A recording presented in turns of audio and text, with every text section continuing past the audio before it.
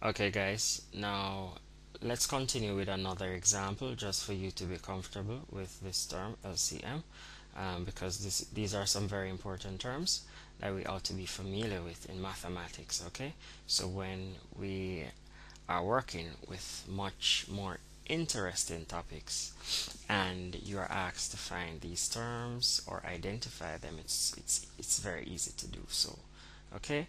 Now in this example you're going to be asked to find let's say find the LCM LCM of of let me change my color LCM of 8 4 let me put a 4 here and I'm going to put a 16 there so we're asked to find the LCM of 4, 8, and 16. Okay, so again, uh, to find my LCM, number one, I have 4 and 4. The multiples of 4 are, first one is 4. Then it's as if I'm counting by 4. I have a 8. I have a 12, 16. I have 20. And the next one would be 24 I just feel like stopping there. As we said it goes on and on.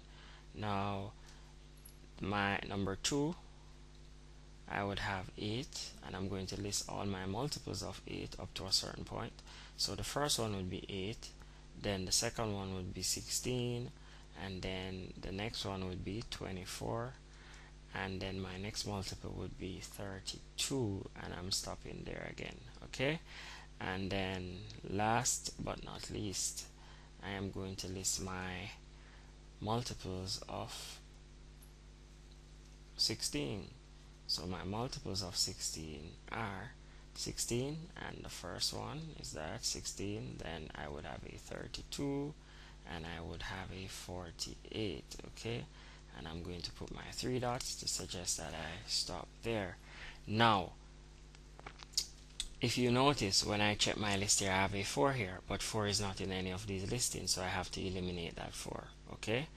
Now here I have a 8 here and a 8 here but I don't have another 8 here so I have to eliminate that 8 okay? So I'm not focusing on that. Here I have 12 but I don't have any 12 here so I have to eliminate that 12 okay? But here I have a 16 okay? I have a 16 here and I have a 16 here and another 16 there. So I'm going to circle the 16 okay? So I have one there another one there and another one here okay?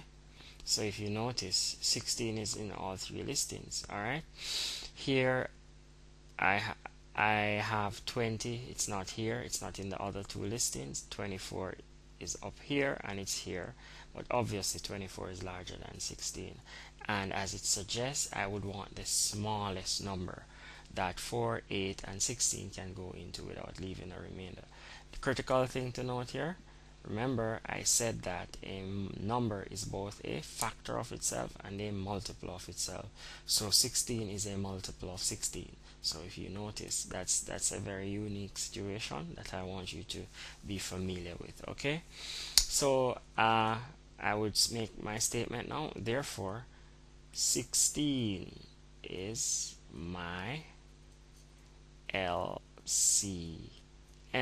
okay and it's that easy guys. Alright now as I've always stated if you have a question always feel free to post your question and your comments and we'll get back to you as soon as possible on these on the lessons okay? Also you can subscribe to our channel and to get the latest updates from our videos okay? Bye bye